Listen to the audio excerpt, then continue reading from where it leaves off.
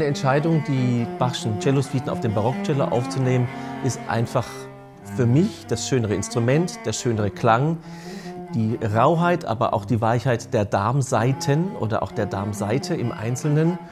Und das äh, kommt für meinen Musikgeschmack, komme ich dieser Musik einfach näher, als wenn ich das auf modernen Stahlseiten spiele.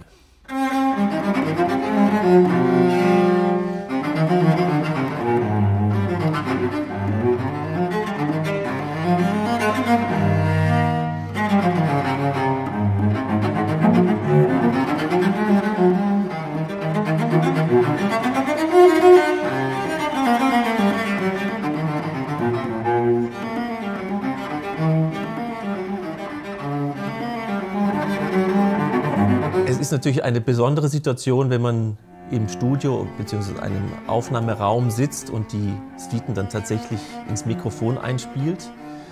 Man weiß, da sitzen zwei Herren und hören einem intensiv zu und man sitzt vor dem Mikrofon und sind wieder Dinge anders geworden, wie ich sie noch vor ein paar Jahren gespielt habe. Das heißt, die Beschäftigung und das Arbeiten und das Fühlen dieser einzelnen Sätze ist im ständigen Wandel.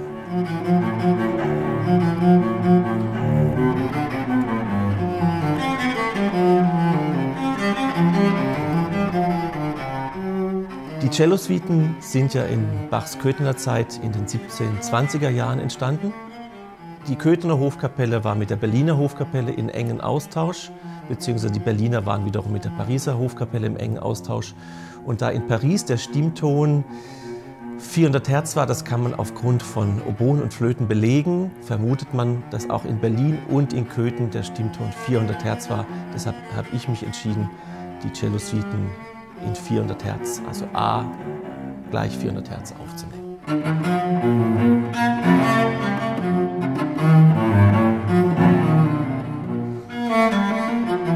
Wenn man weiß, es gibt gefühlt schon 10.000 andere Aufnahmen, dann muss man sich auch einer Kritik stellen.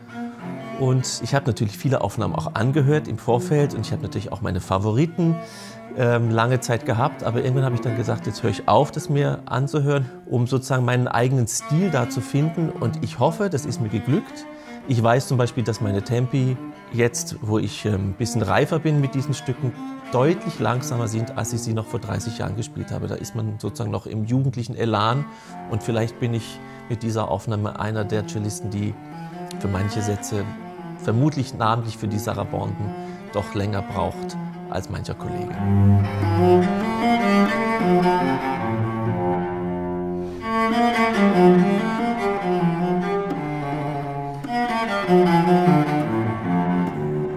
Nach der Aufnahme ist vor dem Konzert, das heißt die Beschäftigung mit diesen Stücken geht jetzt weiter, auch in Konzerten und man entdeckt immer wieder neue Sachen, die einen herausfordern und ähm, wahrscheinlich wird die Arbeit an diesen Werken für mich nie zu Ende gehen.